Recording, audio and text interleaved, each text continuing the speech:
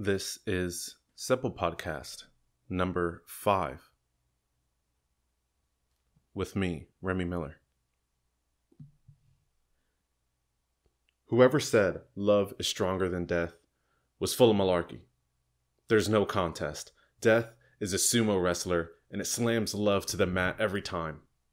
When my mother's husband died 12 years ago, her own life was pretty much sucked out of her, though she still walks and talks. I loved Mike too. Let me give you some advice. Unless you have deep religious faith, I have none at all, or objective detachment bordering on the abnormal, don't read the autopsy report of someone you loved. Now, Eleanor Cooney, the author of this book, Death in Slow Motion, My Mother's Descent into Alzheimer's, is very uh, illustrative with her writing, and she does a good job of conveying the thoughts surrounding what it's like for a family member to care for another family member who is suffering from a dementia of some sort. And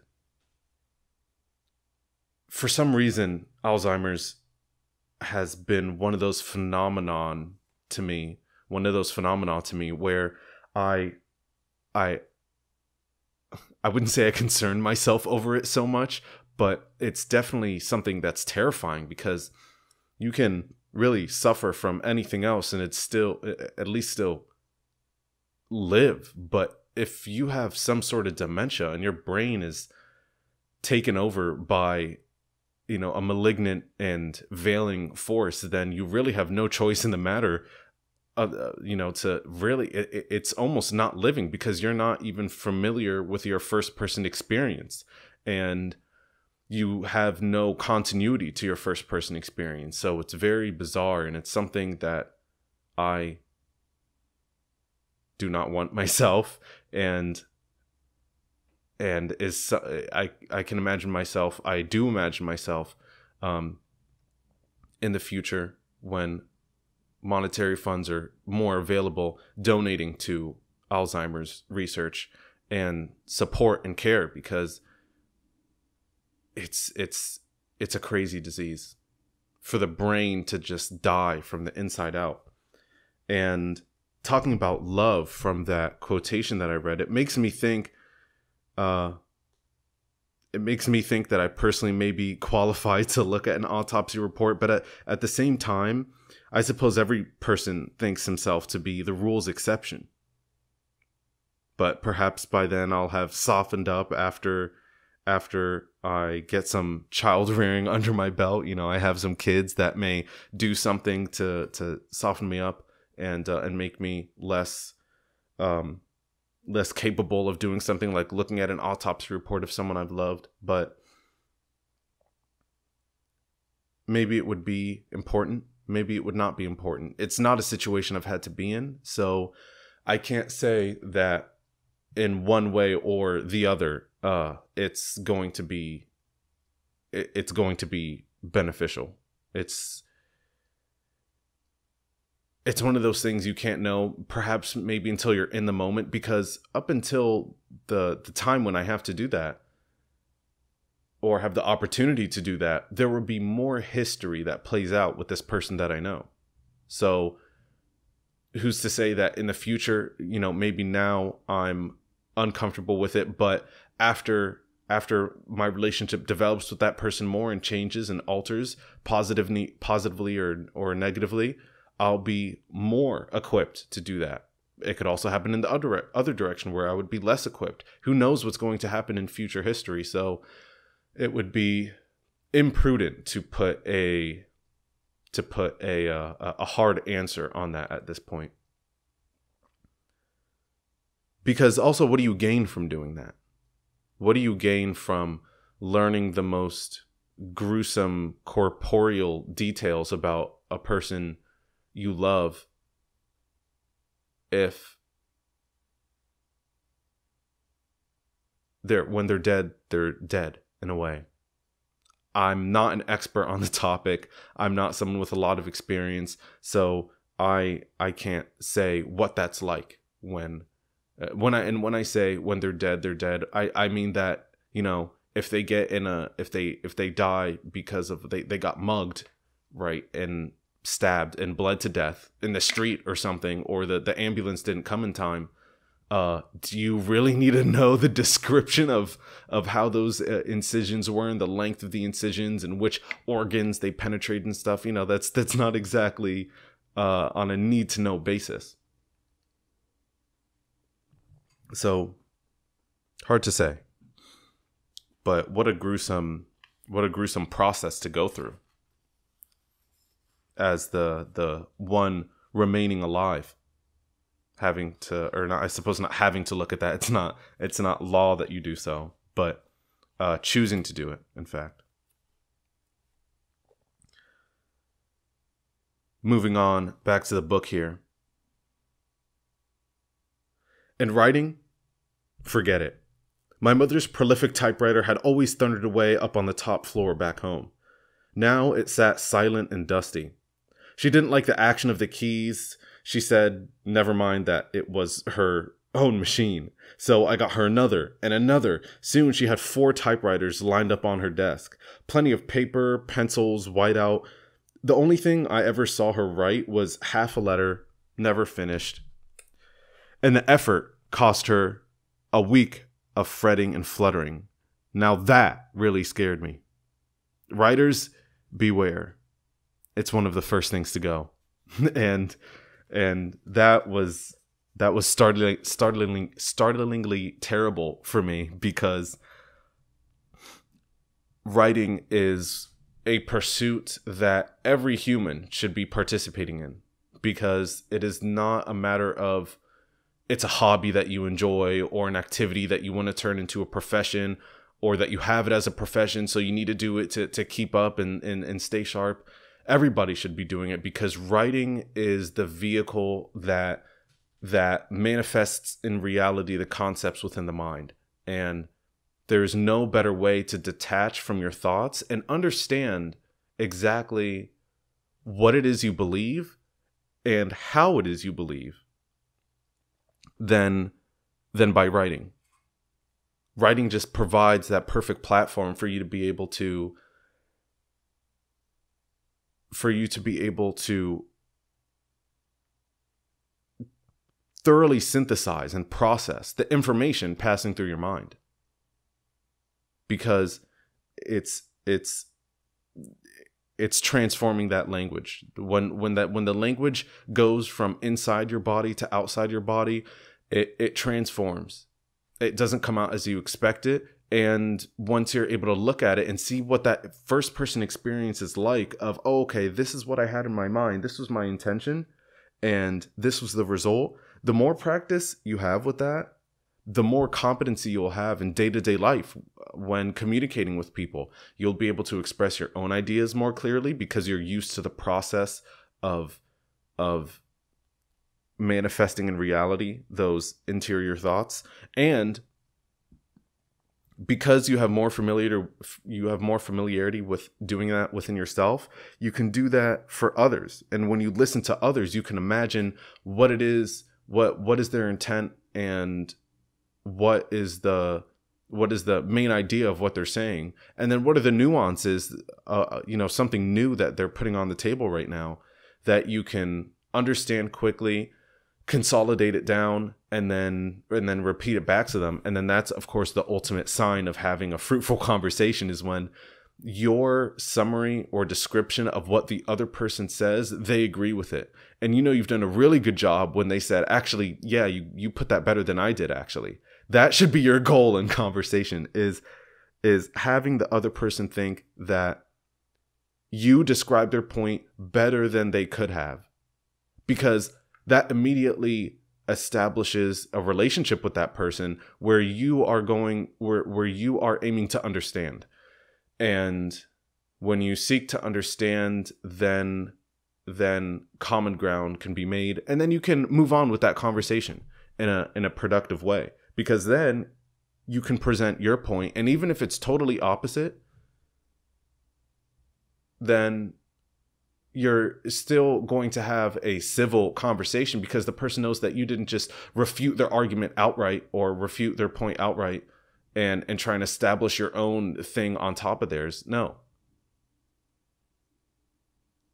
You say, I'm here to listen to you. And when you are the first person to, based on your actions, show, expect, convey that you are there to listen, it is much more likely that the other person will follow suit in their action and stay quiet when you're speaking. Because the best way to the best way to be heard is to be quiet, essentially. Moving on from the book here.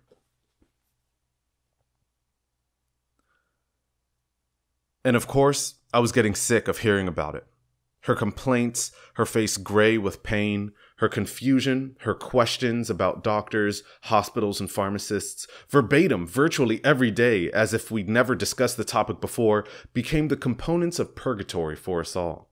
She'd groan, stagger, weep, hold her stomach, as months progressed and nothing we tried worked, I came to live in a chronic state of rage and helplessness. Rage at my failure, helplessness in the face of this infuriating, baffling stomach monster that wrecked any chance at all of making my mother's life even a little bit pleasanter. It was bad enough that she had to lose her mind. It was intolerable that she could also suffer physically almost all the time. That nothing could be done that she couldn't remember. She couldn't understand or remember how hard we'd tried, that even her doctor didn't want to hear about it anymore. That Mitch and I got so raw with impatience that we could barely stand to hear another word about it. It was like a nattering nightmare. Don't take it out on her. Don't take it out on her, I rebuked myself. Don't. Don't. And this is the confounding element of something like Alzheimer's is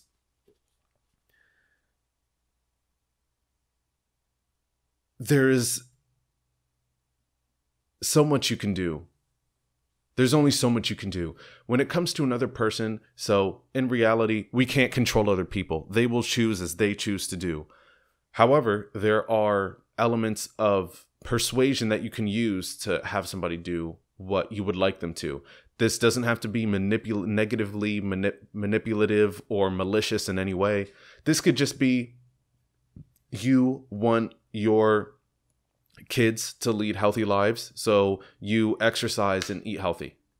And you make sure that you convey that in reality to to these small humans so they pick up good habits. Um, it could be that you want you you want someone you're living with to to clean more. So you know what you do? You clean more first. You uh you take that initiative and then the other person will follow. It could be a point that you're trying to make in conversation. So persuasion isn't just by trying to talk somebody into something. It can be through your action. It can be through talking somebody. It can be it can be hey, you you can be in a work situation, workplace situation and the the body of people thinking about the best way to solve this problem or go about go about this project there are multiple ideas out there. And when you listen to all the ideas which you should be listening first so all of the all of the bad ideas get talked about and dismissed immediately so then you have that detachment and elevation to be able to uh, make a, a smart rem- a smart remark about it. You have to be persuasive in what you're saying. So we can do that with people on a normal basis because they because minds generally speaking are susceptible to adjusting. However when it comes to a demented person that idea is out of the window. It's no longer possible because it's like the mind just defaults to a more primitive state in many ways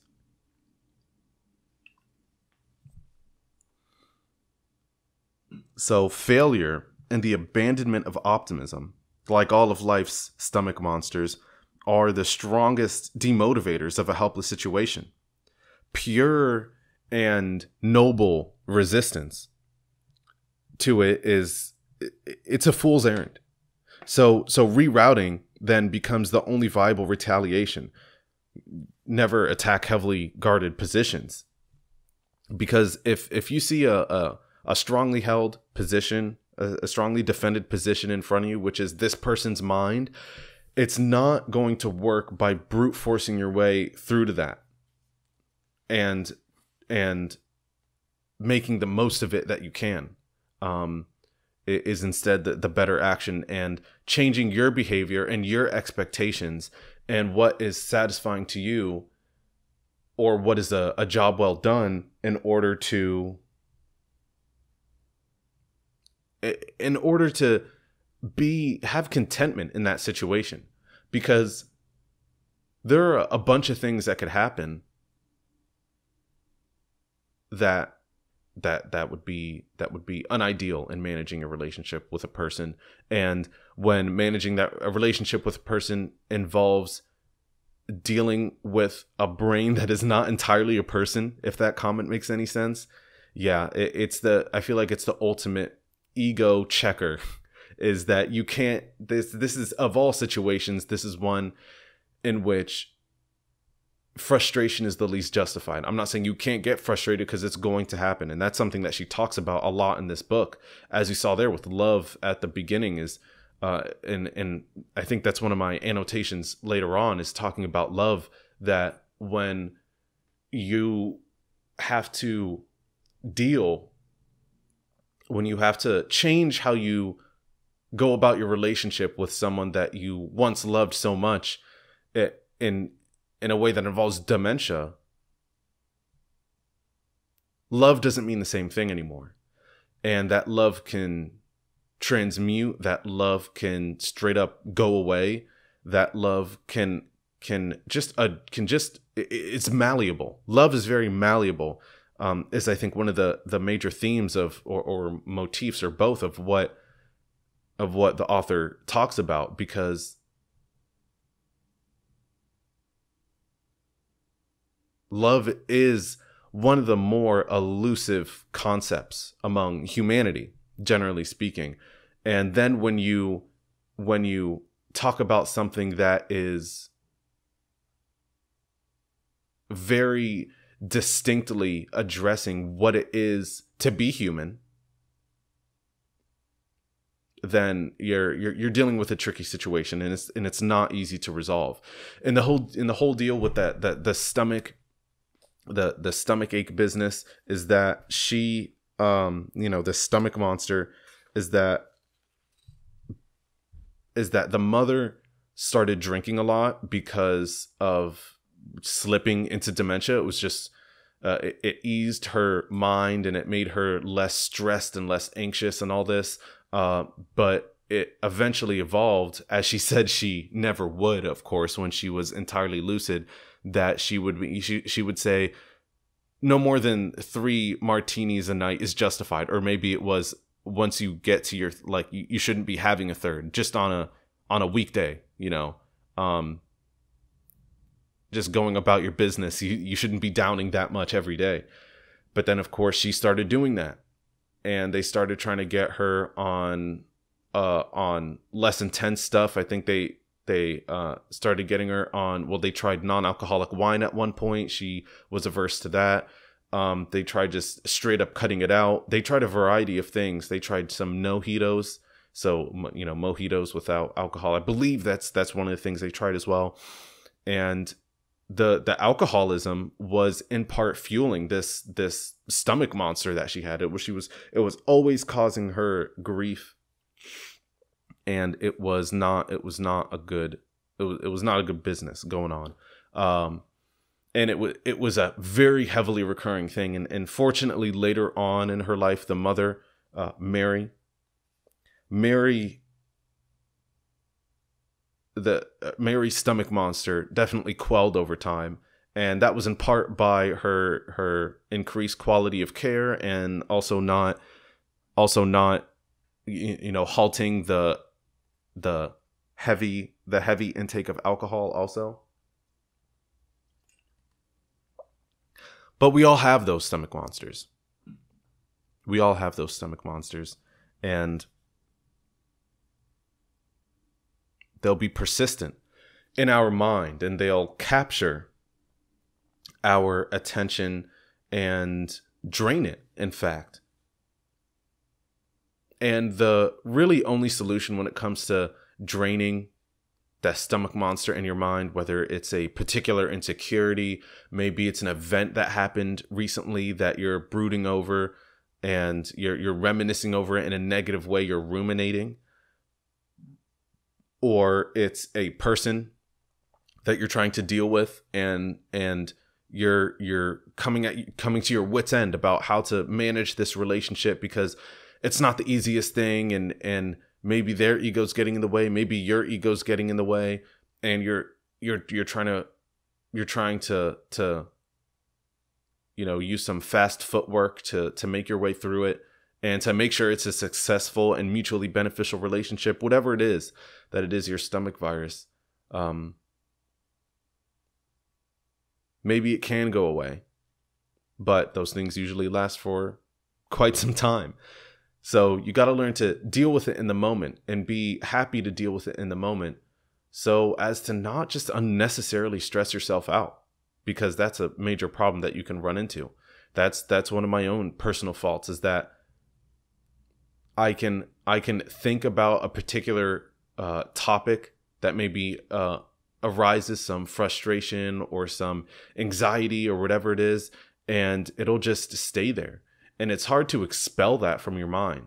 You really have to actively make the effort to, well, one, spend your time doing things that are important. Because if you're doing something that's important, more likely than not, your mind's not going to be distracted by whatever it is that uh, is heavily distracting in that moment.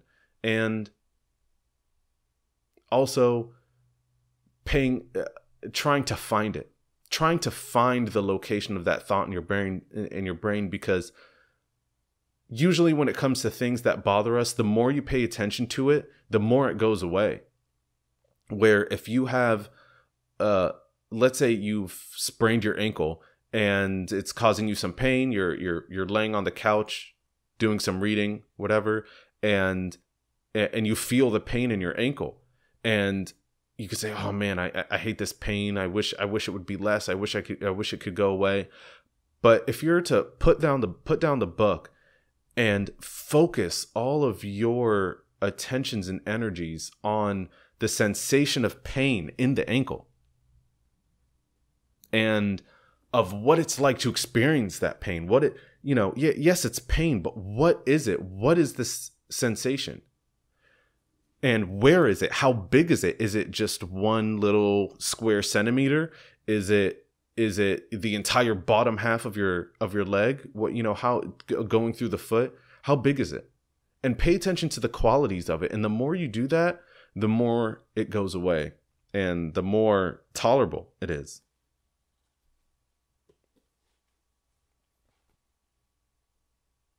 moving on back to the book here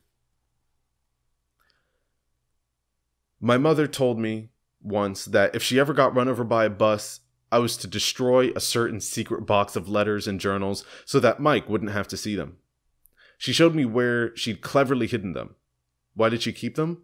Not for sentimental reasons, that's for sure. She kept them because she was a writer, and writers have a tendency to keep potentially risky stuff around. It wasn't that Mike would be angry or jealous or would make a scene if he saw it. She just didn't want to hurt him with graphic glimpses of her heavily populated past sex life. Mike had been married before, but he was an innocent compared to my mother. They escaped New York together permanently around 1970, moving to Connecticut to get married and live happily ever after. And for a good long time they did. The town quickly fell in love with Mike. When he died, my mother got at least a thousand letters from grieving friends and even people who'd only met him once or twice. It was a tide, a torrent, and it lifted and carried her. Why is grief easier to bear when it's shared? It's a mystery, but it's so. And I want to add jubilation too. Jubilation is easier to bear when shared. Um, and maybe easier isn't the right word when it comes to a more positive oriented emotion like that, uh, but just better experienced in general. You get the most out of it. You get the most out of grief, and you get the most out of joy around in the presence of others and shared with shared with others. Because in in joy among others it multiplies, and in grief among others it it diminishes. Because that social support, that that surrounding web of friends and acquaintances and inner circle loved ones, uh, as as the Buddhists would say, your sangha. When you focus on that more and you allow yourself to be vulnerable in those circles, you're going to receive more help from those people and more assistance. And you're going to get, if it's grief over whatever you're going through, a lot faster and a lot less painfully. And it'll have you form better relationships with all those people. Because of those because of those vulnerabilities, people will be able to relate to you more. It is that which is most personal, which is most general. And meaning that the the more you share about yourself something that you may think is just this personal problem that's so unique to your life or that nobody else happens around you happens to be going through right now that doesn't mean that it's not going to be useful for other people to hear the account of and to try and help you through it because then they're going to learn more about you they're going to learn more about themselves they're going to think more about how this applies to to loved ones in their life and it's going to generally improve your connections to everyone around you. So the lesson here is that it is important to share no matter what. Experiences are meant to be shared. It, it is simply the way for it's simply the way for human beings. Community single-handedly dominates the list of the most important features of healthy living. You know you gotta you gotta rely on others to th- to thrive. It is said so often that we are a pack species and it's said that way for a reason. Because because sharing and collaborating leads to multiplied growth. Two people can do more than 200% because then the strengths and weaknesses of each other's balance. You're not wasting times on wasting time on things you're not good at. You're able to maximize maybe, you know, you think about it in caveman days. Maybe one guy is good at running and another guy is is you know really scale really really skilled with his hands in terms of fine motor movement so maybe you have some guy who's just a total a total hunk that's running out and and killing an elk and carrying it back on his shoulders or dragging it behind him for for two and a half miles back to camp to be eaten. Whereas there's this other guy there that maybe he doesn't have the physical fortitude to do something like that but you know what? He can he, he can skin and prepare this thing to eat in in in 24 minutes you know from beginning to end. And and that and that's a skill and then you're able to save time that way because then you come back from this hunt you're exhausted you want to take a you want to take a, a five ten minute break then you got to do this thing you're you know you're you're still tired so you gotta you gotta put more effort into doing that. You know it's it it's it, you you there's less waste with collaboration. So that's ultimately the the benefit of it there. This one is really this this is also another recurring theme here in the book and it's it's really a tricky one because what do you do with a person in this state? Let's get to it here and then I'll continue. August. We're riding in the Volvo which needs new tires a new steering rack and a new muffler She's always in the car with me because she wants to go with me everywhere I go. It's impossible to get to the car and out the driveway without her seeing me. Sometimes I'm able, to sneak away by going out the side door of the house, hunching over and crawling into the passenger side of the car, but usually I get busted. There's nothing at all wrong with her eyes and ears. I'm alone all the time, she says, alone and staring at the wall, reminding her that she's in fact rarely alone, except for a few hours in the morning, if I'm lucky, does no good. In her mind, she's alone all the time. So there's all this about community, which is beneficial for us and really along all axes that you can imagine. And when you have the opportunity to build a community around you and build a positive community around you about other people that care and about uh, you know about people that you care about and people that care about you that's all great, but that's only if you recognize that there is a community around you or a community can be ra- can be made around you. But in this case, the mother Mary just doesn't have the wherewithal to understand that there are other people supporting her. To her, she's alone in this thing. And and these people just abandon her and they they leave her alone because think about it like this when you're when you have no short-term memory and you're constantly forgetting things that means that you could have you could spend 3 hours of time with someone and you could be having a great time. It could be it could be a full-on memorable party. You're you're dancing you're you're having good food having good having good beverages doing whatever it else it is you're doing, having good conversations, all is just going well, and then at, you you you go home, ten minutes later, and you think that you're all alone because you have no short term memory. So those people that were there a little bit ago are no longer there, and the only thing that's there now is loneliness. And in a very perverse way, dementia, Alzheimer's is is is a form of mindfulness, but not a beneficial kind. Because with the beneficial kind, you're able to quell the anxieties within you more effectively. And with this kind, this involuntary kind of mindfulness, there's nothing else that you know. So if there's nothing else you know, then what is there to enjoy? Because you you enjoy my enjoying the present moment as a result of mindfulness is is an enjoyable experience because you know that there is more which can be distracting but which you're voluntarily not allowing to distract you. And there's a gratification that comes along with that voluntary abstinence from distract from distraction.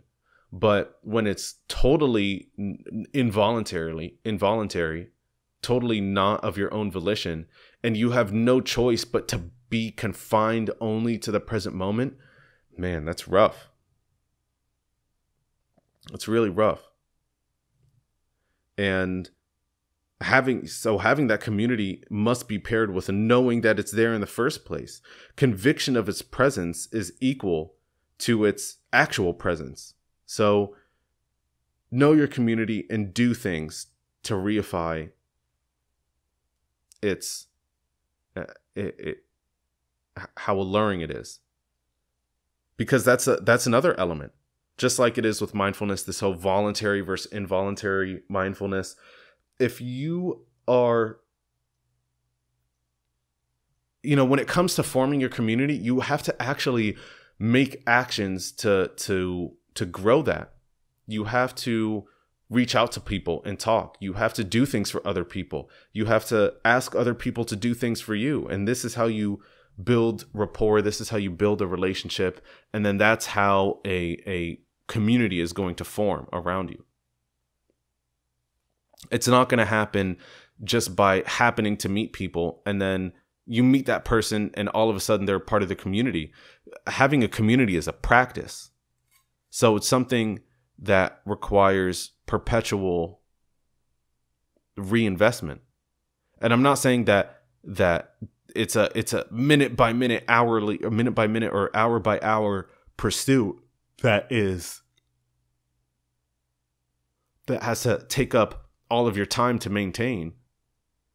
Because you can do it in a not so often way and if based on the personalities of the other people in that group that's that's how they roll then you can form a strong a, a strong mutual web of bonds like that but that is not necessarily the case you got to do moving on back to the book I was hoping I could have lunch with you, she'd say, using the same piteous voice she used when she asked if there was enough food for her to have dinner with us. I'm alone all the time. This was my mother. What was I to do? Was I to say, No, mom, take your food and march back out to your cottage and cook there and leave us alone? Mitch, which is her husband, Mitch occasionally succeeded in turning her around, firmly and usually kindly, but it was almost impossible for me.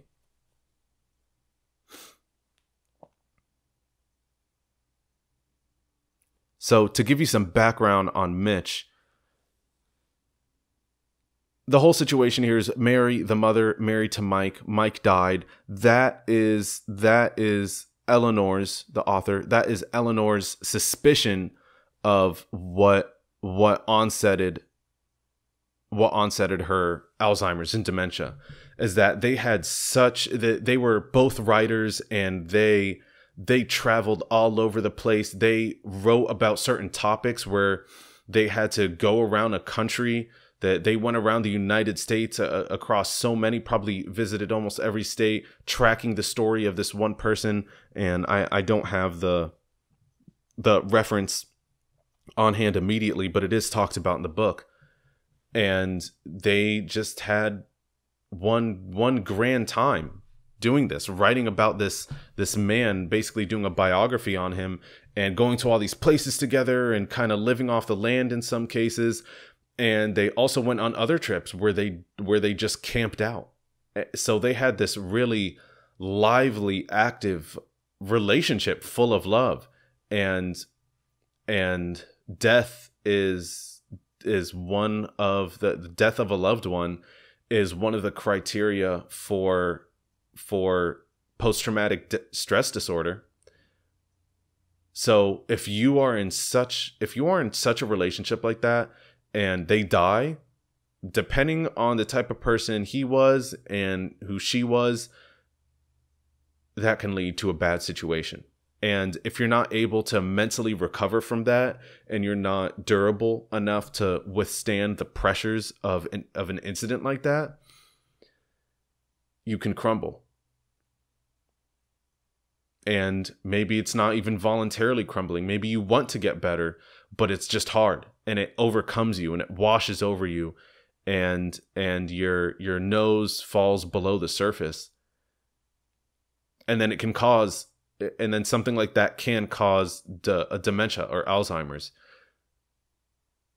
And it's crazy how something so two things that you would think are so not necessarily unrelated but but that such a physical reaction can happen to to a conceptual thing. I mean, somebody dying is very physical. There, and it is a physical body that is no longer roaming the world. You are no longer no longer interfacing with that collection of molecules anymore.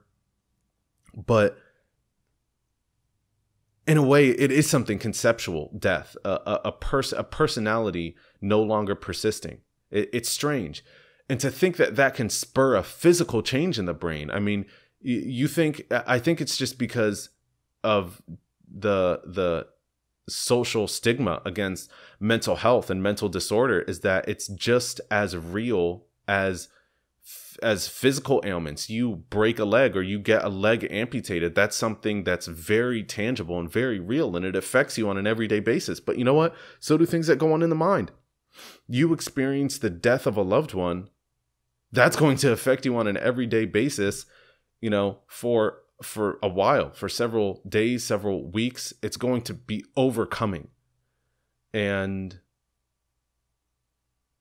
there's a process of how you lift yourself out of that and you don't you don't ever entirely lift yourself out of that i have yet to uh, encounter such a thing in real life nobody super close to me has died yet so i can't i can't say this for sure but of the accounts i've heard of other people um yeah after after some time you you you begin to pull yourself together but it's such a bizarre thing. So that was that's that's the the backstory of of how this is important here. And mitch so this is a this is his mother-in-law and you know eleanor just just does nothing but sing his praises about how much he sticks in there how much he does the hard stuff like turn her away out of the kitchen when she's when she complains about being alone and and, and doing all that he can to support his partner and to support his mother in law too. And what makes me think about what, what this makes me think about is how the distinction is formed between being crass and being kind when the demented person can't distinguish it herself. So ought ought the family to to care what they think best to to do what they think is best for the person regardless you know that that thing could be pleasant in the in the experience of the demented person or not pleasant in in her experience. Um but you, you just got to do what's you just got to do what you ought to in that moment. And in this moment they were exhausted they were stressed. Uh that's something she talks about all the time. It's just it especially when you don't have the money. Because if you have the money, you can throw your your Alzheimer's laden uh, mother into a into a um a, a care facility and and you know they'll take care of that. Easy squeezy. But those things are expensive. It's it's lots of money a day. You gotta you, you think about you measure the cost based on the price per day is how expensive this is. And if you don't got the money for that it's hard.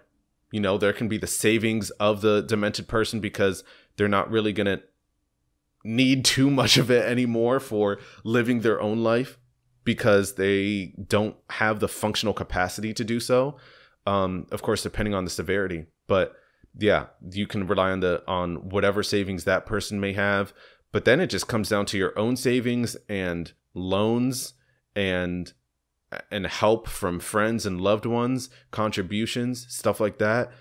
It's stressful. So it gets so so that's something she talks about a lot. And then when you're dealing with it yourself, when you don't have the money to do so, is there really ever an excuse to be crass?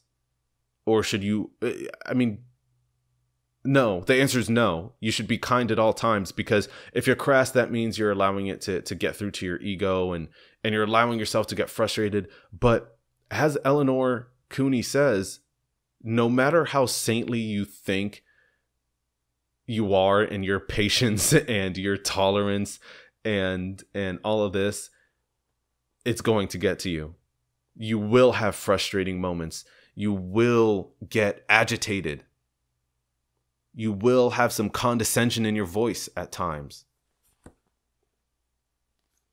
You will commit these crass acts, and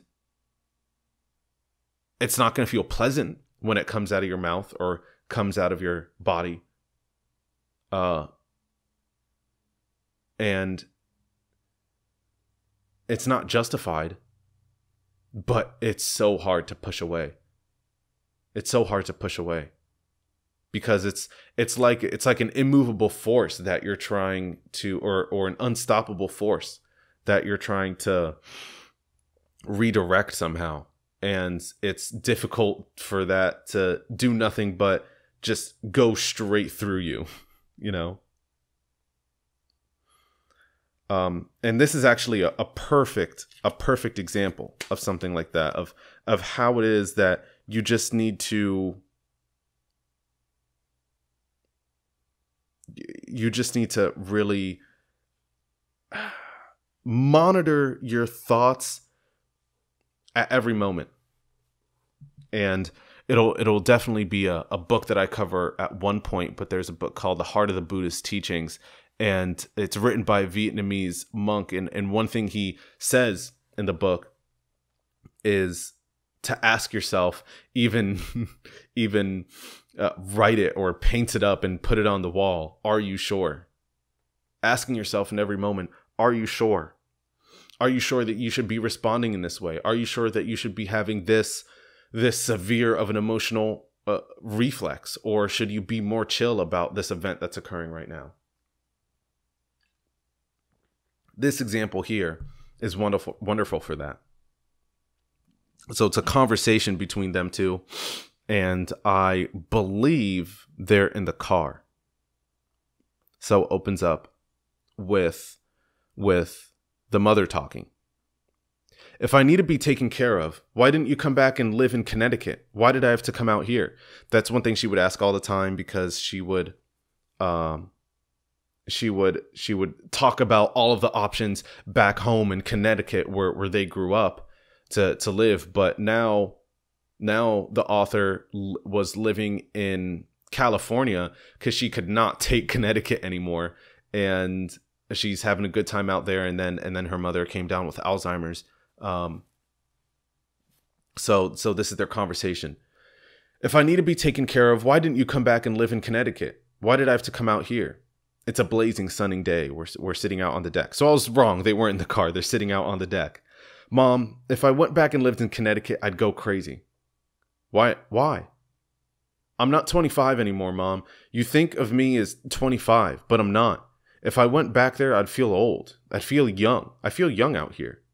You couldn't feel feel young in Connecticut? No, God no. I'd feel time speeding up. I'd be old before my foot touched the ground. How old are you now? Take a guess. Oh, 35? I wish. I snort. Why would you feel old in Connecticut? Oh, God. Where do I begin? For one thing, the seasons are too distinct. They rush by like a speeded up slideshow. Summer, fall, winter, spring, summer, fall, winter, spring. It's relentless. You can never forget how fast time is going by. It's a little it's a little easier to forget about that out here. But you had a good time growing up there. Yes, I did. It was great. And it's beautiful. You know so many people there, so many good friends. That's absolutely true too. It's just Christ. It's so hard to explain. I just couldn't. But I want to be in Connecticut, surrounded by my friends, the people who knew Mike. Mom, I couldn't. I couldn't go back to Connecticut. I, I'd go crazy if I did. And I wouldn't be able to take care of you or myself. Why? I'd feel like a total failure, like I never got anywhere. Old, sad, trapped. Well, I don't understand. Don't understand what? Why don't you come back to Connecticut to live?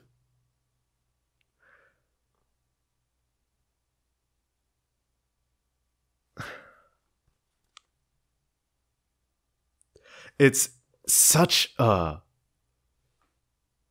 a helpless situation. I, I I I think of that exchange and to to make this point, this is how the chapter ends. This is how the chapter ends on this on this bit of dialogue here uh, on this on this exchange sitting out on the porch. And it just leaves you with that. There's one line after it says a good question When i was asking myself all the time now why indeed? And it's it's it's I, I can't think of anything else than other anything other than helpless. It's it's such a bizarre situation, and like many times of tribulation, is this when the game must be played? an outright and direct sense of being satisfied with the quality of your care. So just as simple as sitting on the porch having a conversation with your mom um, is impossible. You you can't be sure if this little chat that you're having with her is causing her more stress or is quelling her stress. So do you just maintain patience and find the answer whatever it is to quell that uh, that incoming confusion? Because her mom's confused. That's what she said. She said she doesn't understand. And and it's easy to write that off. Oh of course she doesn't understand. She has alzheimer's. That's going to be the case with everything. Of course she's not going to understand. But think about it from her perspective. You know she's saying i don't understand why you can why you can't come back to connecticut. It doesn't make sense to me. And is this a moment where you just you have your patience and you you talk to her calmly and in the same tone and with the same consistency and all of that good stuff? And then and then you just do that ad infinitum until until the topic wears out or she wants to move on or or do you kind of play the game a little bit and she's looking for an answer. You know, uh, Eleanor gave her a whole bunch of gave her gave her some some pretty good reasons and explanations uh, and clarifications, but that she still wasn't she still was the you know mom still wasn't buying it. So do you just give her any answer? if it's a lie if it's if it's entirely fabricated if it's only a half truth a quarter truth an eighth truth you know, what do you what what do you do? Do you just try and progress that conversation past the point where you're stuck in that loop? It's really tricky. I think that's one thing that this book has has shown to me above almost all other themes in this book. This idea of total unpreparedness being totally unprepared for how to manage a relationship like this. What do you do with a person like this? Like like it's it's the ultimate it's the ultimate kind of it, it this this book is like a guide to how to think about relation uh, unconventional relationships atypical relationships not a guide in the sense that it tells you what to do and how to manage them because she says at all points i was a horrible human being and i didn't know what i was doing handling the situation at all turns until it was too late. So it, it it's not a guide it's not a, a how-to guide but and it's not a how not to guide it's just what is happening? That's that's literally what this what this book is describing is what is happening in this relationship what's going on. Just this total confusion because as confused as Mary is, so is Eleanor. So is Eleanor. Eleanor is, of course, in a state of complete lucidity, but that doesn't mean she's in a state of complete comprehension. And and every time Mary does or says something that is that is uh, kind of representative of the weirdness of the, of the nature of dementia it, it's completely new to Eleanor too so she's equally as confused as to how to respond to something like that. So man is it a tricky situation.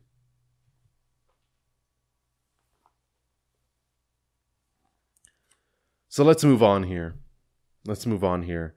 Um at this point she is talking about uh, one of her other husbands. So after, uh, gosh, I, am I'm, I'm forgetting the sequence now. Um, I, I believe this was after Mitch. Sorry, Mitch is Eleanor's husband. After after Mark died. After sorry, Mike. I can't believe I got the name wrong. After Mike died, um, she kind of went on a string of other of of marriages and relationships with other people, kind of boyfriends and husbands, and some of them were not so great. I think they might I think they might have come before though. is that yeah because because there's her biological father and then there there was uh, another another man after that there might have been two men after that and then she landed on on Mike and then after Mike there there was no one serious as far as my my recollection um suggests so this is talking about one of the other one of the other guys so so let's start here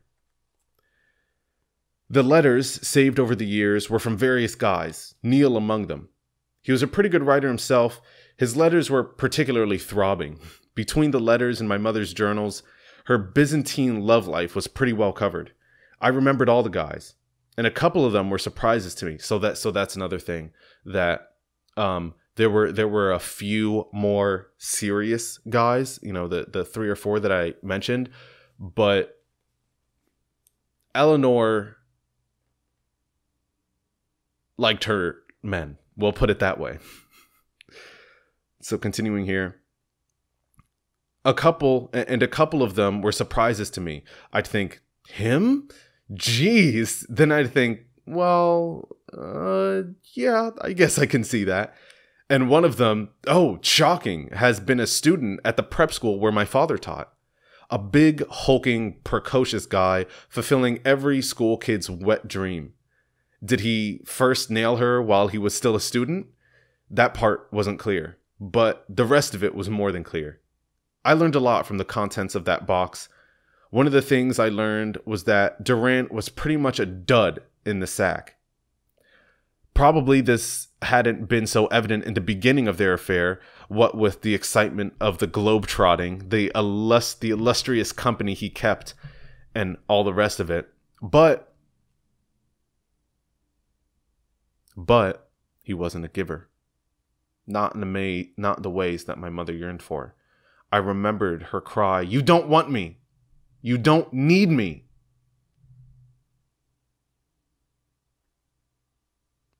A couple years into their union, she went to a psychiatrist. She wanted to find out why she had married such a distant, loveless man.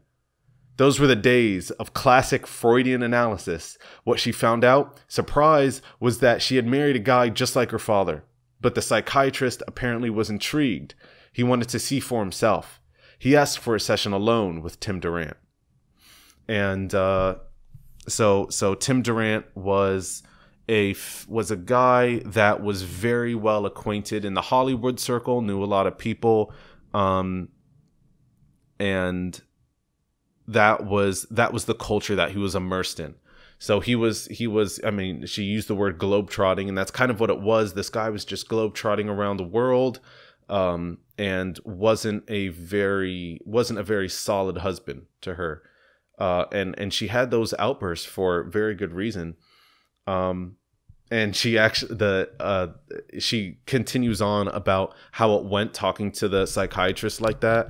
And and basically the psychiatrist said stay as far away from this guy as he possibly can. He is a nutcase. He is totally i'll go. He said he called tim durant and this as an exact quote a psychiatric monument and said to her I don't usually tell my patients this, but my advice is to get as far away from that man as you possibly can immediately.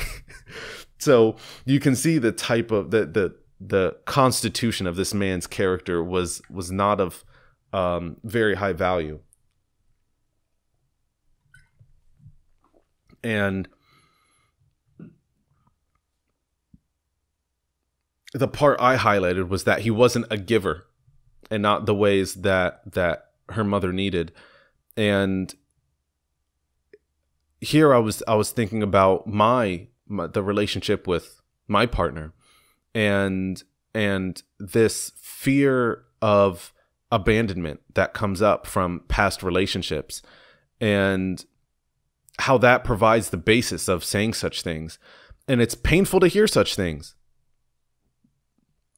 because it could it could be a totally negative sign and a totally um, true sign as it is in this case where it's just this guy that's just so horrible and should not have a relationship, at least with this woman. Apparently, he was so bad. Really, people should be staying away from in, from him in general. But at least for her, she had to stay away from him, and um, it could be for totally legitimate reasons like that. It could also be from past insecurities about how you know relationships that are likely familial. Those are the ones that generally have the most influence over our life going forward. Um, you know, maybe it could just be root, rooted back from that. It could be rooted in that. And it could not be exactly because of the partner, but due to that background influence. And that's okay because you can go about healing that. You just have to acknowledge it, you have to face it and and after doing that you can you can start to quell that and put it to rest and it will never go away. That's the thing about insecurities and interge- intergenerational trauma is that that crap doesn't go away.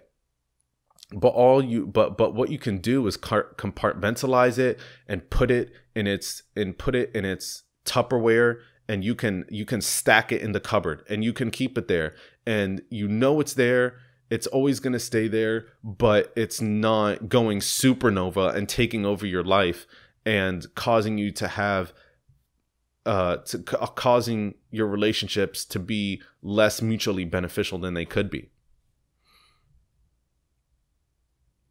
And and they arise because they're they're so ingrained. But that the fact that it's ingrained within us doesn't necessarily mean that it has to manifest outside of us in a in a big way in a serious way so be mindful of your insecurities and and what's an insecurity versus what is a genuine feature of the situation you're in the person you're talking to the person you're in a relationship with. And it's relationships of all kinds. It could be work relationship home home relationship you know in the house relationship um other other friends that aren't work related and aren't in the house. Um family that lives in the house or does not live in the house. It applies to all of this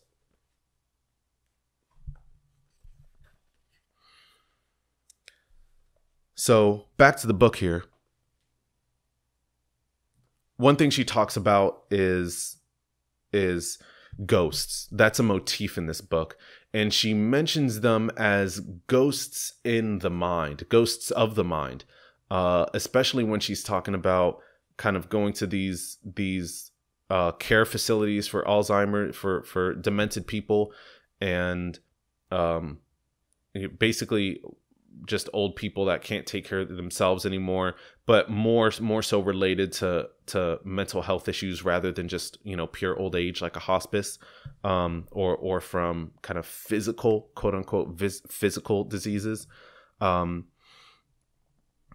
so that's what she means when she talks about ghosts because and I think that's a good description too because when you think about it the ghosts, you know, ghosts in the mind is a great description of dementia.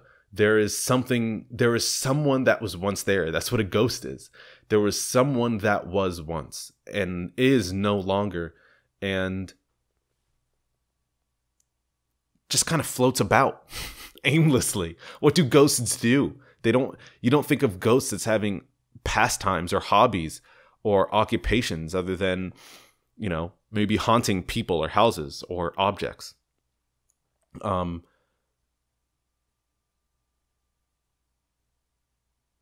there's there's a great album called Guilty Ghosts. I just wanted to mention that. And when I say great album, I don't mean that it is a it is a musical monument just like the psychiatrist said i'm not saying it's a it's a musical monument of you know the best that music has to offer but it's it's it's pretty good. It's it's got the it's got the the chill vibes to it. Um and it's very textural. That is a common feature of the music I tend to like is very textural and there are very few tracks in there which have any lyrics. One of them I like, one of them I don't like and uh, you're you're just gonna be in for something that you can put on and uh, you can really put on the background if you want or just get invested in the textures that you notice both good. Anyway let's continue on about these ghosts here. Back to the book. Sometimes i feel like one of those ghosts. I think back on a morning about a month before. I wake to the sound of my mother's voice in the hall outside the bedroom. I jump up and open the door. There she is dressed and groomed talking on the phone leaving a message on an answering machine. My answering machine. She's using one of my phones to call the other one right there in the same house. It's a chilling little moment, not unlike the moment in the movie The Eye the Needle, where the heroine discovers that her lover, played by Donald Sutherland, is a Nazi spy. She walks in on him while he's in the middle of sending a radio message in German. He goes on with his transmission, calmly, coolly, terrifyingly looking right at her. My mother looks right at me while she finishes her message, her voice perfectly normal.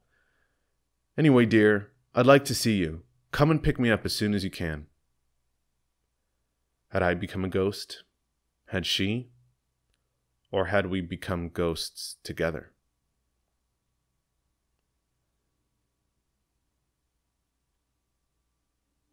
How do you love someone who doesn't know you?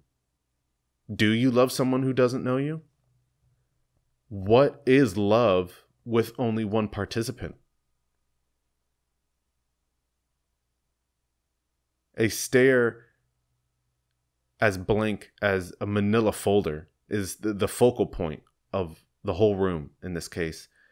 And that blank stare, the absence of love, destroys hope and and the past and the future and the self if the love was big enough. So, love is one of those things where it leads to an infinite expanse of possibilities in this world of doing good for others. And that's something I've come to learn in the past couple years is how love how how experiencing love receiving it and giving it and practicing it how it changes one's outlook on what it means to be a person in the context of other people what is what is the purpose and implication of the actions of a human on other humans but when you have a situation like this where love really is one sided in a way. Eleanor is looking after her mother,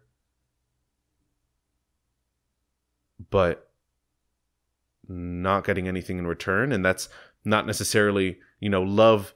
Love is symbiotic, yes. Uh, but love is given unconditionally. That's what love should be. So the fact that it's not reciprocated is okay but that doesn't mean it's any less harrowing to experience. So that's why this book is rough because it has you think about love in such a in such a bizarre context in such a unique way that you that at least I have not considered before. I think it would be the same for a lot of other people too that read this. And I suggest the book. Of course, I have to make the disclaimer that I'm breezing through a lot of this book. And a lot of the a lot of the crazy mental mayhem that goes on in the in, in your mind as a reader is is with all this other is is with all the other material. You know, I'm only covering a small portion of this. So even if you've dealt with the disappearance of love, just like she said, so when I when I at the beginning was reading about the autopsy report, that was in the second paragraph of the first page. So that's from the beginning of the book all the way up to now. This is about halfway through it. Um, and when you have that much time to think about how love applies in this relationship and what it means to exercise and practice love with this dynamic,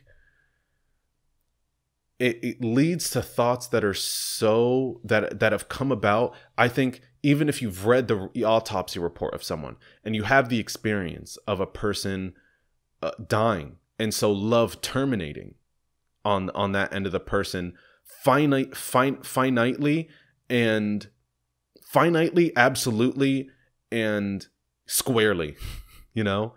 Um whereas when it comes to alzheimer's there's there's the mystery. Does does this person even recognize me? I'm staring i'm standing right in front of her. She's looking me in the windows of my soul. And she's asking me to come pick her up because she feels lonely. Is that love? Is is love going in the direction from from mother to daughter?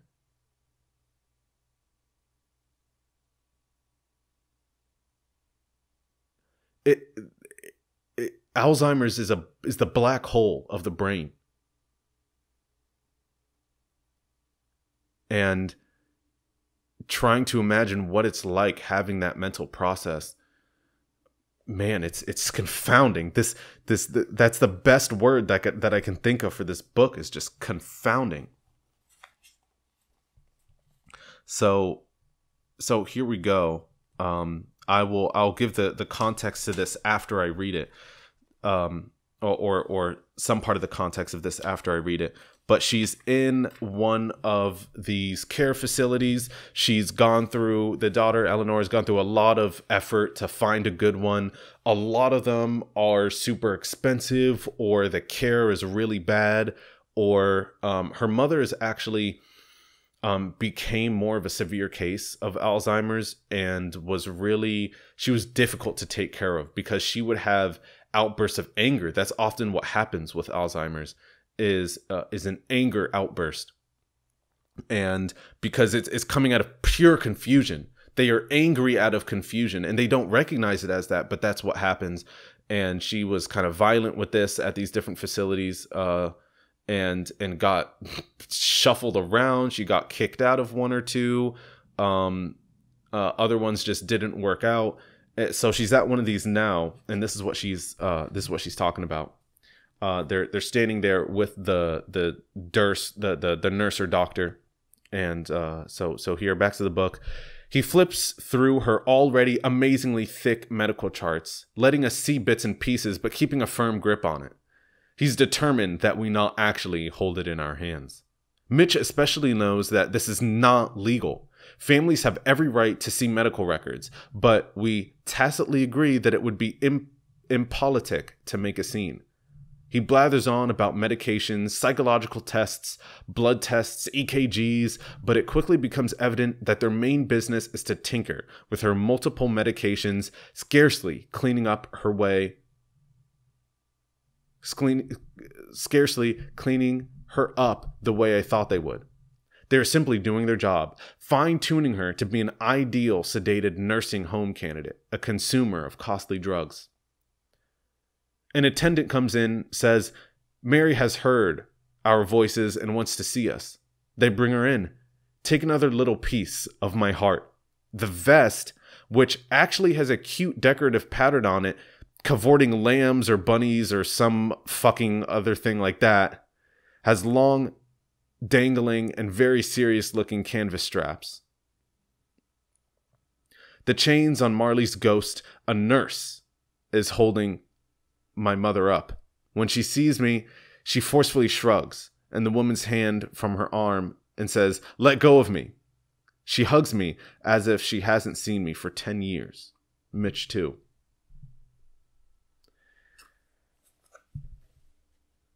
So I I mentioned that because that was the first and I believe only time that she uses profanity in the book. cavorting lambs or bunnies or some fucking thing like that. It's just an epitome of her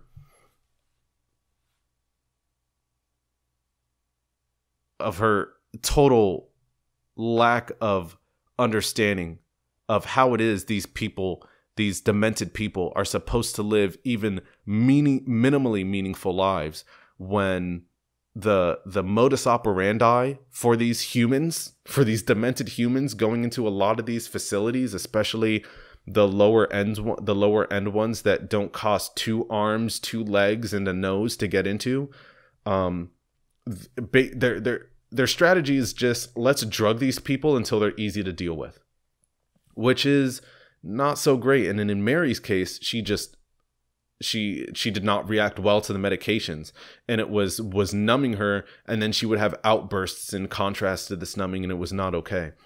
Um so it's just representing eleanor's mounting frustration and desperation and anger at how these places treat the patients. These these cavorting bunnies seem uh, an unintentional concealment of the mundane atrocities of this place, of all places, of this disease, one of mundane atrocities to patience and love and vitality.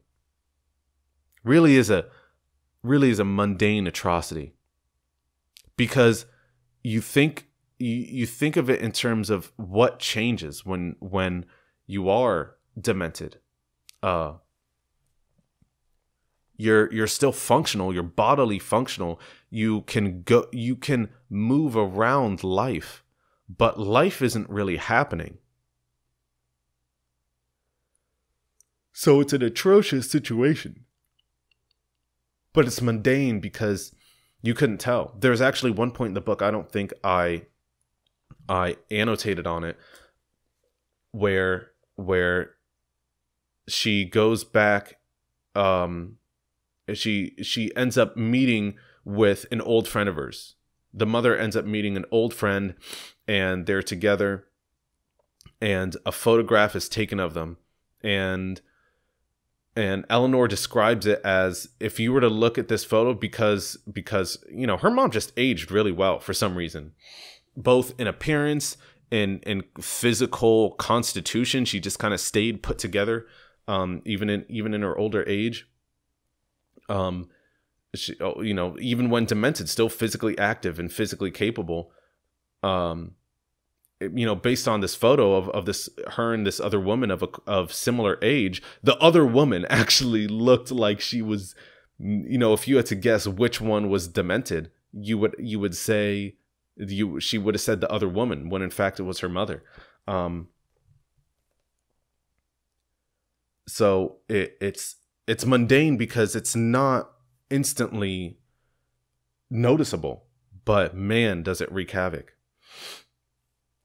And i would say that that that that excerpt there is which is on the same page and carries on to the next page of this other um of this other thing she describes. So so what i just what i just read is is kind of penultimate to this point that's being made here So continuing on, and I this this one is a little longer, but I have to read the whole thing because it's this is one of the most powerful moments in the book, in my opinion. At least for myself. The shrink and the nurse can't get out of there fast enough. We're alone with my mother.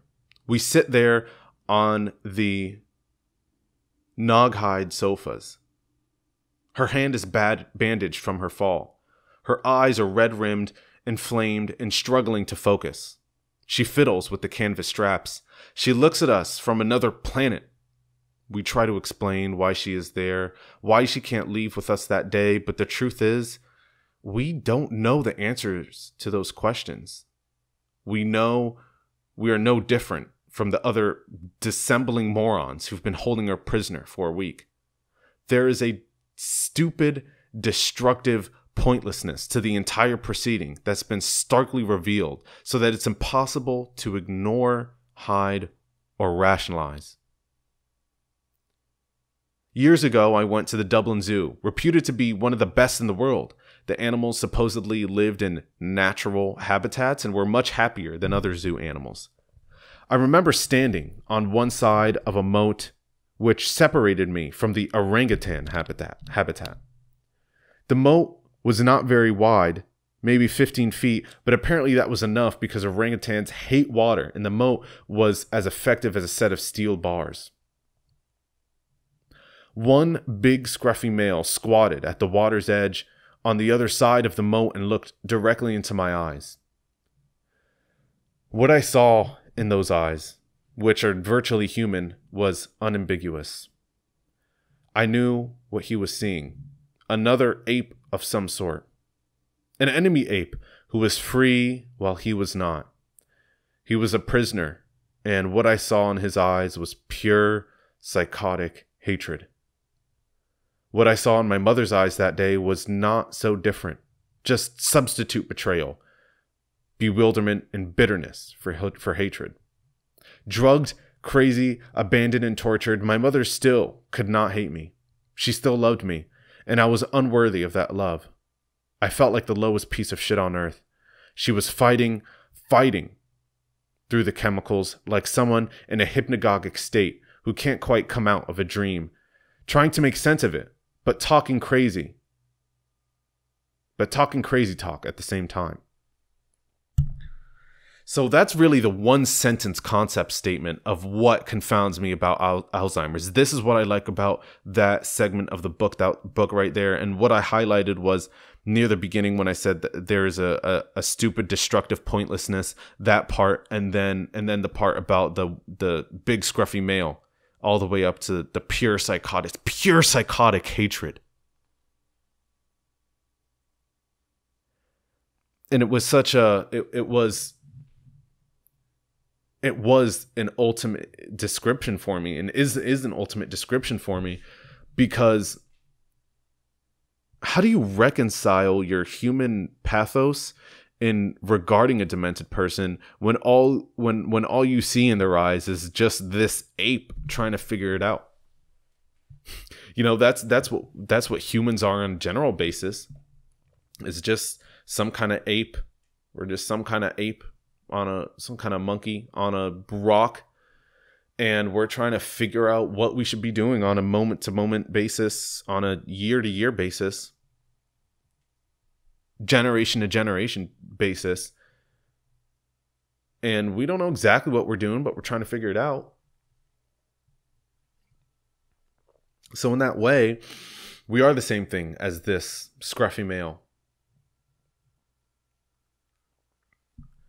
And it's crazy to think that looking at an orangutan like that, you see another ape. You see something so similar to the self. You see in his eyes a certain psychosis.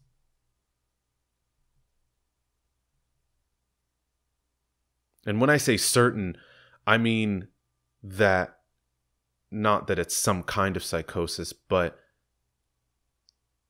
an absolute psychosis. It is certain. It is it is irretrievably present.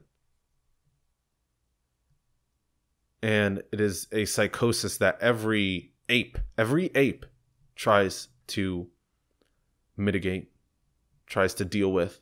At, with humans, we do it on a bit of a higher level. With something like an orangutan in a zoo setting, I think there is a pure psychotic hatred there. There has to be. Because orangutans are self aware.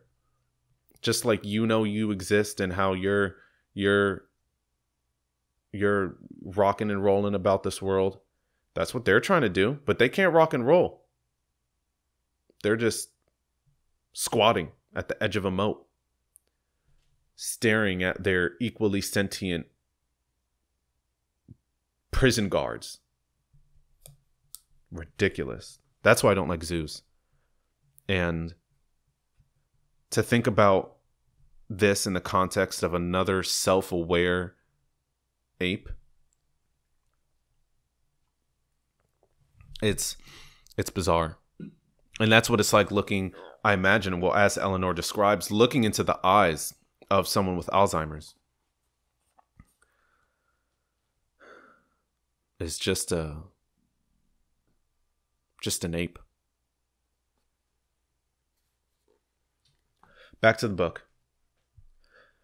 So there was mike semi-conscious under the fluorescent lights. So that so what happened was mike died um, he from birth had this like this blood pulmonary problem, and he had he had it was visible on his on his right arm, I believe, and it just kind of it was this large kind of red venous uh, appearance that was on his right arm and he came to live with it and you know when it came to his self-confidence or anything like that. It, he he came to live with it very very easily. He would he would throw out his right arm his right hand in confidence to give a handshake like hey boom this is what i got going on. And he was okay with that. And at one point he was getting surgery for this. Um so th- so that's what's going on here.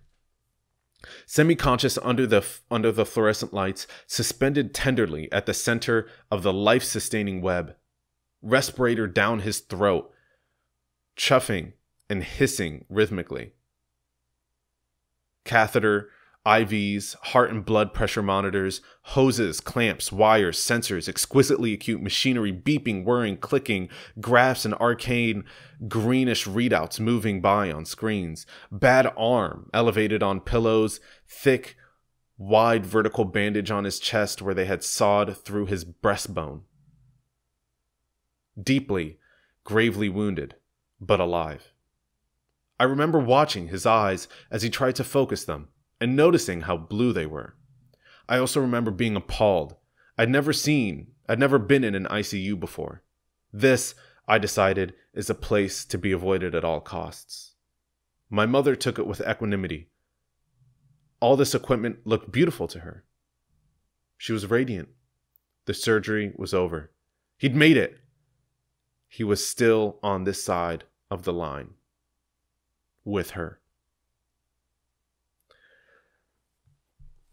So this point comes well into the book. It's not like you get the it's kind of interesting how she lays it out because his death was very was very likely the the the the jump starter to her Alzheimer's and and the Alzheimer's of her starts, you know, at the beginning of the book, but you know only only a couple hundred pages in are you getting close to the the conclusion of Mike's story? And I say close because um I don't think I covered in another annotation so I can say it. He he he survives the surgery and ends up dying about a week later. So it's kind of good news very bad news situation there and uh, so so that's the significance to say that he that the surgery was over and he survived in this moment because that that survival didn't last for long. Um, and this comes later in the book, and and you know the story of his life is kind of uh, unveiled over that amount of time, and and I think it was for very good reason. I think I got at this point why she decided, why Eleanor decided to detail Mike's story as much as she did. Because, yes, because he's critical to Mary's story, but also has a parallel to some other kind of death.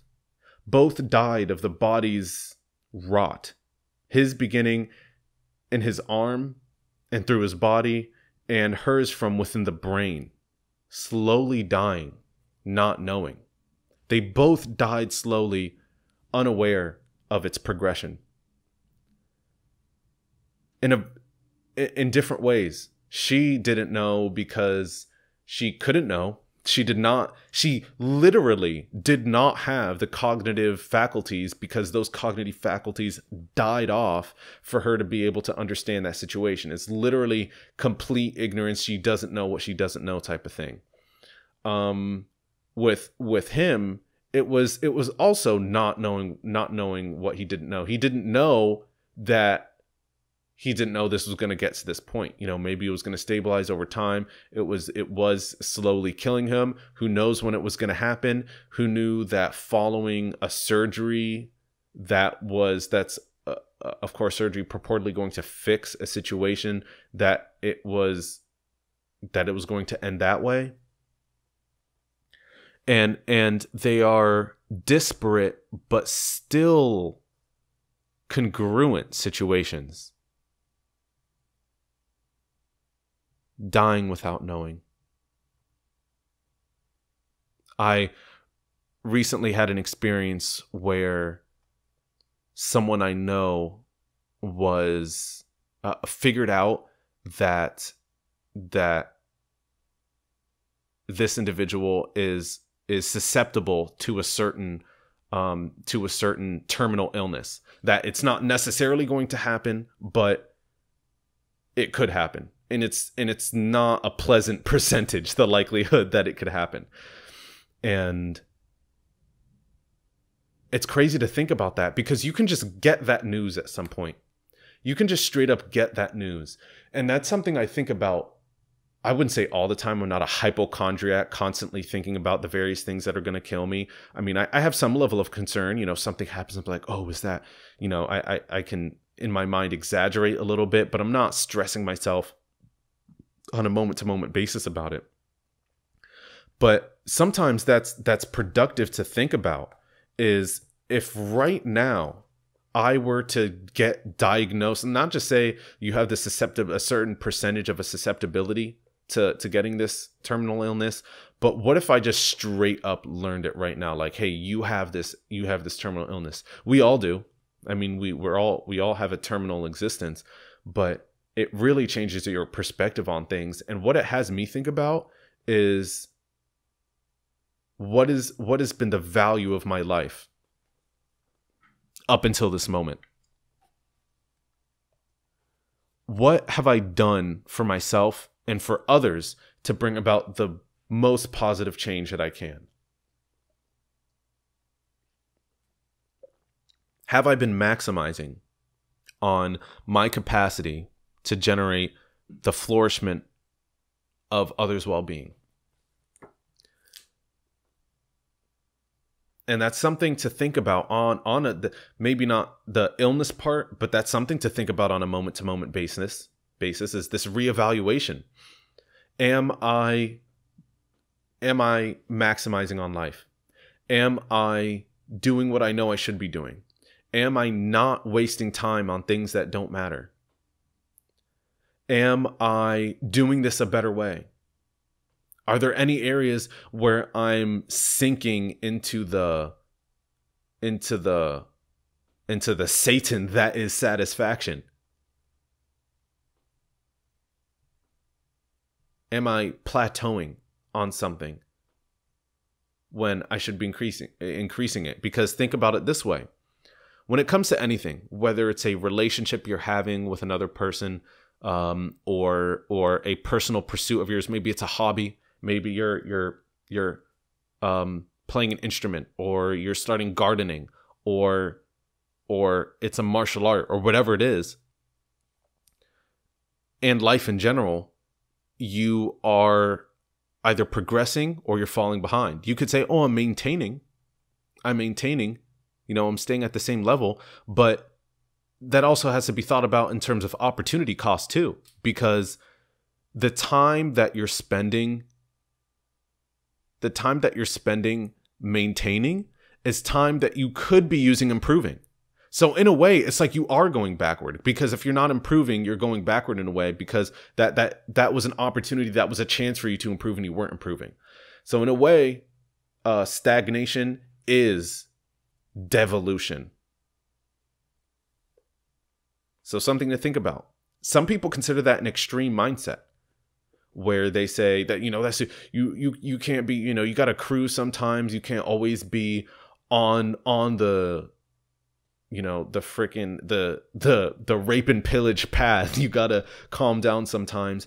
And yeah you it, it, it's important to be not necessarily on the rape and pillage path but on the path. You have to be following the way and and be in full acknowledgement of the way.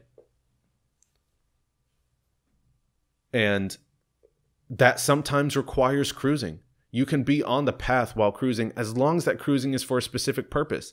You know, if you have four injuries, the fact that you're not exercising is you staying on the path because then your body can use that time and energy to recover those injuries instead of trying to exercise or or um, go to some sports practice more and then make those injuries exacerbate those injuries and increase the recovery time so it's it, it's context dependent and it's possible to chill and be on the path but it's it's something it's a rationalization that can creep into your mind so so rapidly that man you got to look out for it.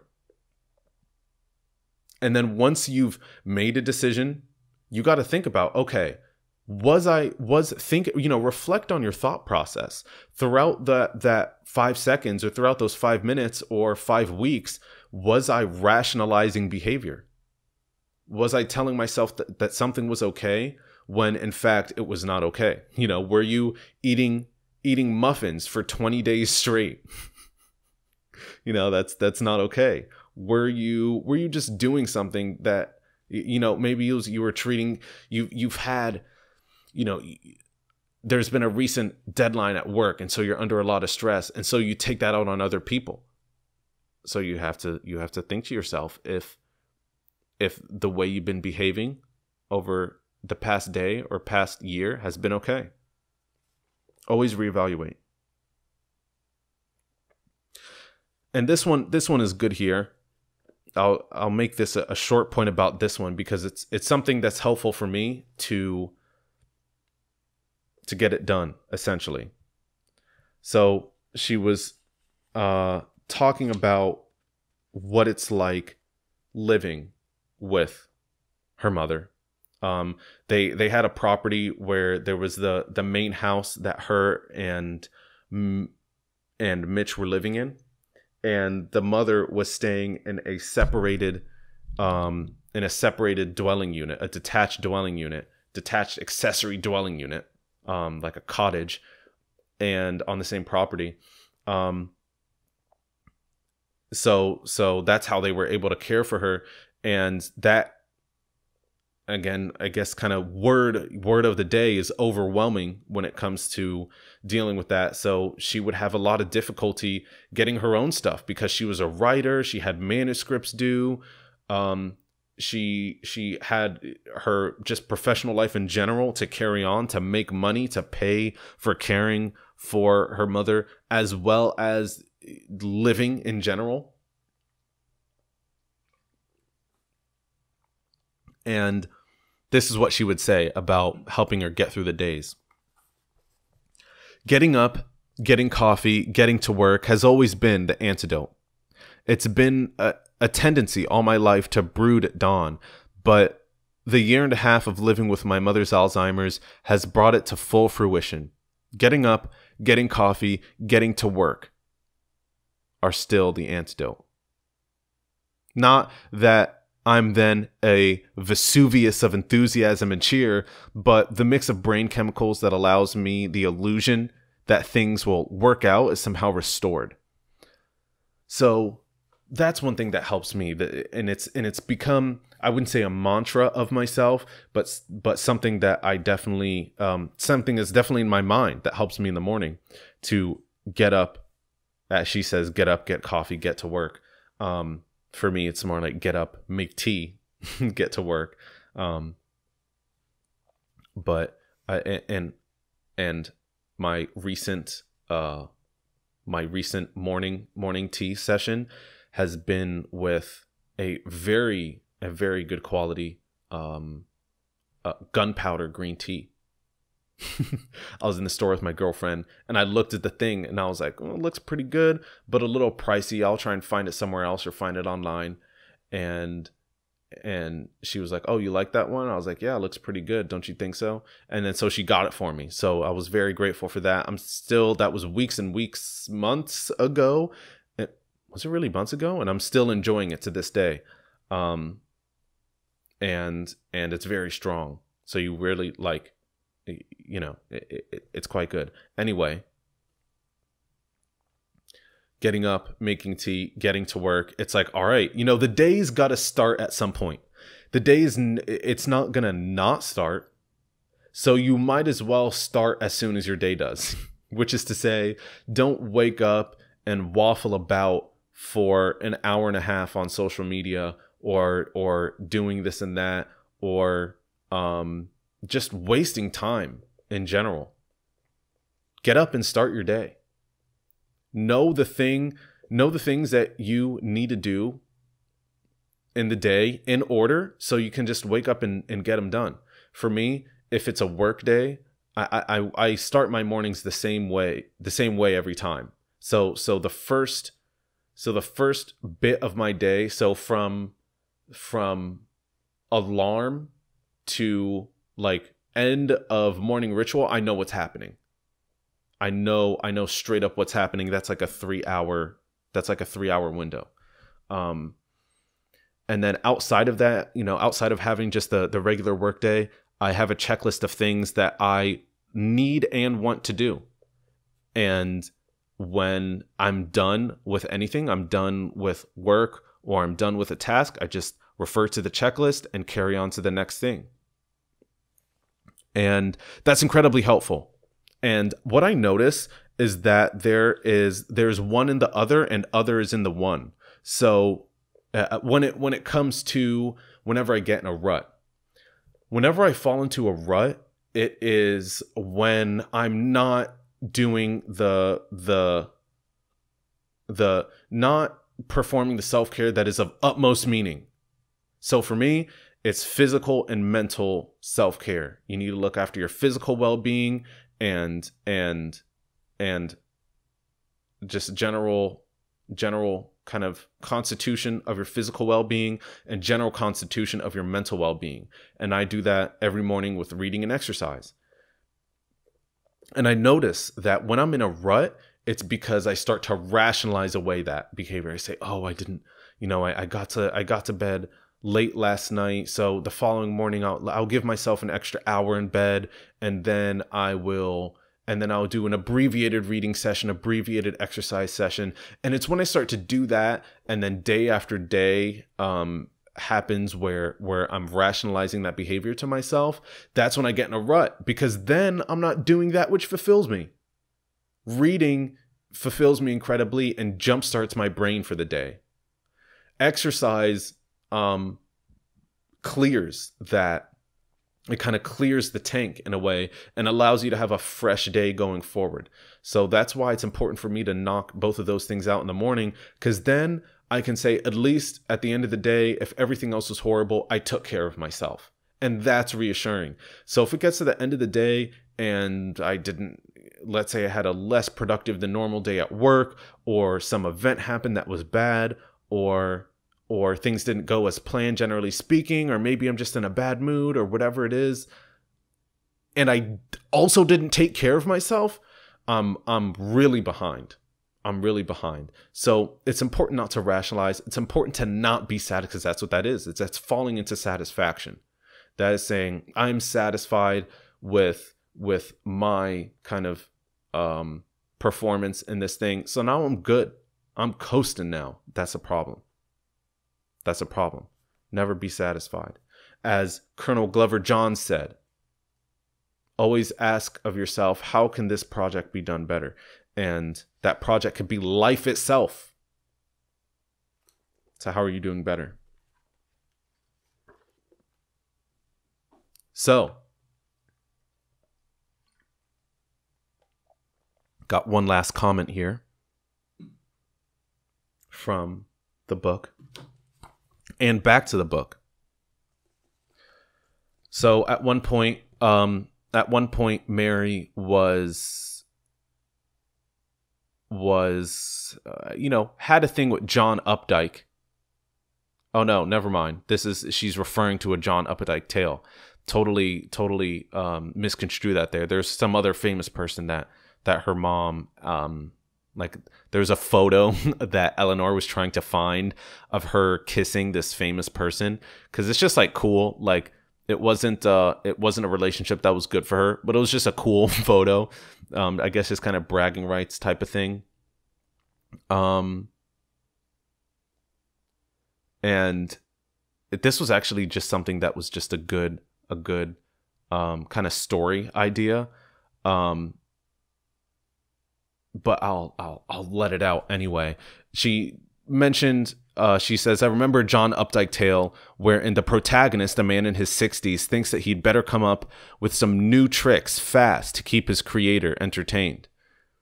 There's a brutal pragmatism to the process of superannuation. When we're no longer a conduit for life, life loses interest in us. It's as simple as that.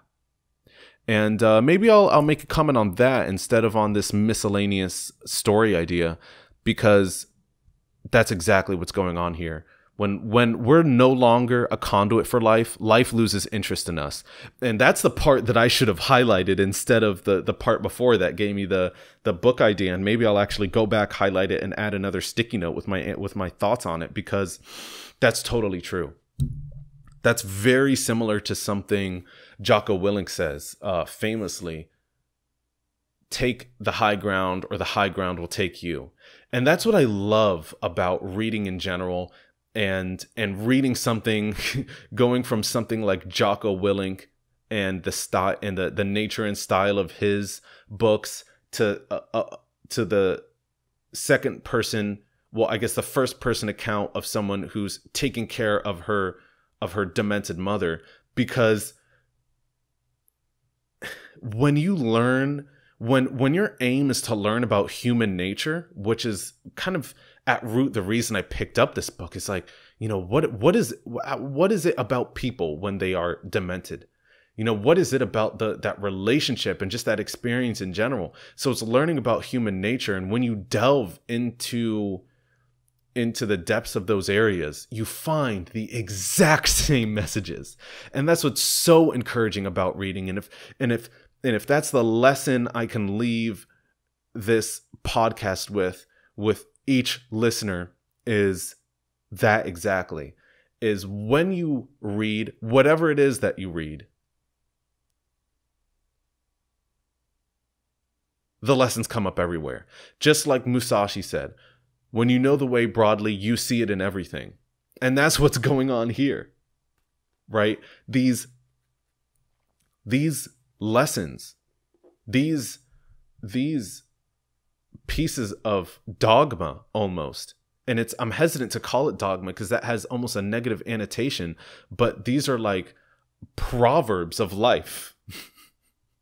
When we're not the conduit for it it loses interest in it in us. So when we're not actively trying to channel change and and a positive continuation in what we're doing to try and make positive changes within ourself and make positive changes within others, we are moving backward.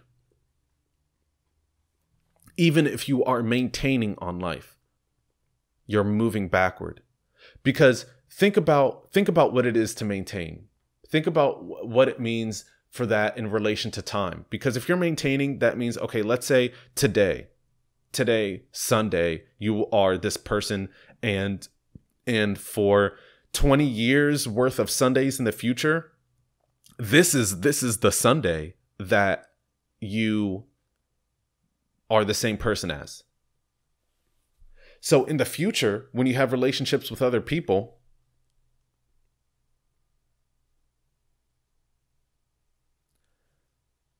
you have nothing to offer because there's nothing that has evolved since since today's Sunday.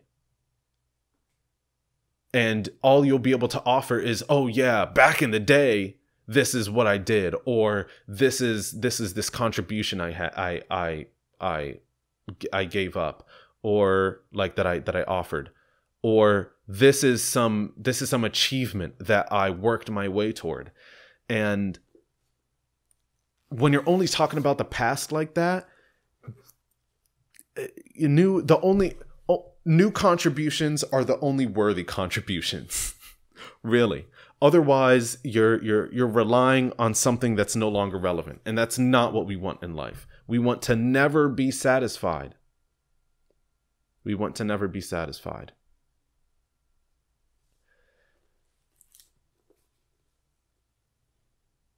And I reckon that concludes my thoughts for today. So thank you very much for listening.